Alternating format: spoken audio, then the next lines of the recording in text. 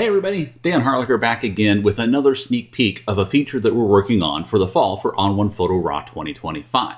Now, anybody who shoots a lot of photos is gonna love this feature. Doesn't matter if you shoot weddings or people, or if you shoot lots of photos to combine together for things like HDR or panoramas or focus stacking or time lapse.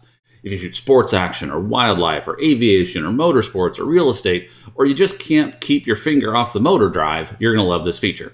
And that is stacks. Stacks allow you to group similar photos or related photos or brackets of photos together inside of Browse without creating a subfolder. Let me show you how it works here. Here's a common scenario. This happens to be a high school senior photo shoot. And whenever you shoot people, you tend to shoot several photos of the same scene, asking the subject to change their expression or where they look or to make sure that your photos are simply in focus and you've captured the best expression. But in reality, even though there are 220 photos in this folder, there's probably only 10 or 12 winners, the ones that are actually the best of each one of those series. So we want to be able to group these together so we can then evaluate the best shot of each series. So let me show you how you can do that with stacks. I'm going to start off and I'm going to grab all of the photos that look similar to each other. So this group of five or so here all look pretty much the same to me. So I'm just going to grab all of those guys. I'm going to right click and now from the context menu, I can select group into stacks. I can also use the Control G or the Command G keyboard shortcut, which makes it a lot faster to make those as well. So I'll just group that into a stack. And you notice when I do that, all of those photos collapse down into one thumbnail here. Let me make this a little bit bigger so it's easier to see. You'll see how it has a little number five on it. That tells me there are five photos in that stack. And if I click on that stack icon, it's going to expand the stack. I'll be able to see all of the photos that represent that stack. When I roll it up, by clicking on that same icon again, I'll just see the top photo in the stack. Now I can repeat that process to create multiple stacks, and I can even use the keyboard shortcuts for doing that. So for example, I'll select this photo, I'm gonna hold down the shift key and I'm gonna arrow through all the photos that are similar, in this case only two, and then I'll hit the Control G or Command G keyboard shortcut. And that'll roll it up for me automatically. Those next two are kind of independent ones on their own. This whole series looks pretty much the same.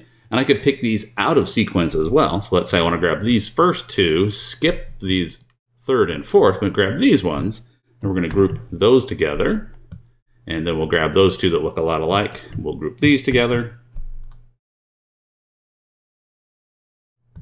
Same thing, all of these except for that one, and group them together. So you can see how very quickly it starts to weed our way down to just the individual photos that are interesting to me. Where this really becomes handy is now when I want to go evaluate a stack to pick my favorite within them. I can select a stack, and when I go into Compare View, I can roll the stack out to expand it and select all of the photos in the stack. Now I can see every photo in the stack all at the same time here in Compare View, and I can look through them to pick my favorite photo. So in this case, the first photo happens to be my favorite. I'm just going to give it a five-star rating so that I can keep track of it. When I'm done, I just close that stack up and I move on to the next stack. And again, to evaluate them, I can just expand the stack, select both photos, and pick which one is my favorite. In this case, I actually like the second photo as my favorite. I'll give it a five-star rating, but I'll also right-click on it, and from the Stacks menu option, I'm going to set it to this top. If it's my favorite photo, I want it to be at the top of the stack. That's the one that I'm going to see. So by using the set to top option, it's going to move that photo to the top of the stack.